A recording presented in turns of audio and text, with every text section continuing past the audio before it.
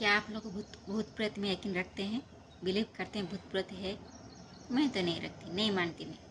लेकिन एक जो आँखों देखी, जो मैंने मेरे ऊपर बिताई है, एक कहानी बताती हूँ।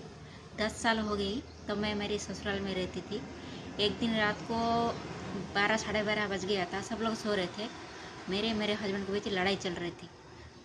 उसी दौरान रात को बारह साढ़े बारह साढ़े बारह का बीच होगा, मुझे टाइम याद नहीं है ठीक से। वो कोई आके डोर को नक किया मतलब धक्का दिया मिडिल पोजीशन में, ज़ोर से धक्का दिया।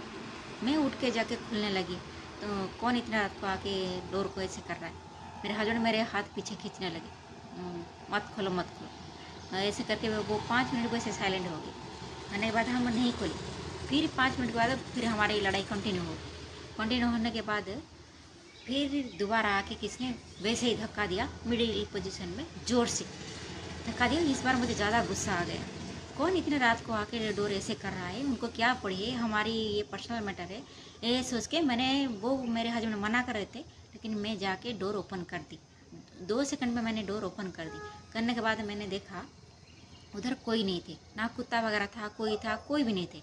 उनका घर जो ऐसे स्ट्रेट था मतलब सारे डोर वो बागों की तरफ़ था। जो फ़र्स्ट हमारा डोर हमारा बेडरूम था सेकेंड जो डोर था, वो एक बागों की तरफ़ था, एक घर के आगे की तरफ़ था। जो थर्ड था, वो भी बागों की तरफ़ ही था। मतलब सारे डोर बागों की तरफ़ थे, वो आगे की तरफ़ नहीं थे। मैंने जाके देखा, सब डोर लॉक है। उधर कोई भी नहीं। फिर मैंने साइड में जाके वो फ्रंट साइड में देखा फुल गाँव में सभी जगह में लाइट है। उधर कोई भी नहीं, एक आदमी भी नहीं, सब लोग आराम से सो रहे। तो मैंने आके, मैंने, मेरे हस्बैंड खींचने लगे मुझे। जल्दी घर चलो, जल्दी घर पे चलो। मैंने, कौन इतने डिस्टर्ब करा इतने रात को आके?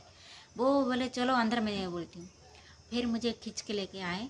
आके बोले, वो जो हमारे घर, में, हमारी दादी माँ हमको बताती है, हमारे घर में जब भी कोई कलश होती है, वो घर की डोर आके कोई ऐसे ही करता है। वो बोलते हैं कि हमारा दादाजी है। लेकिन वो क्या सच्चाई है, क्या झूठ है, मुझे नहीं मालूम। मुझे कोई आइडिया नहीं। है मुझे आज तक ये मालूम नहीं पड़ा। वो ऐसे दो तीन बार मेरे साथ हुआ उधर, इसे सेम टाइप का, वो झोड़ा के टाइम में। लेकिन वो क्या था, मुझे कोई मालूम नहीं। है आप ही बता दीजिए वो क्या था।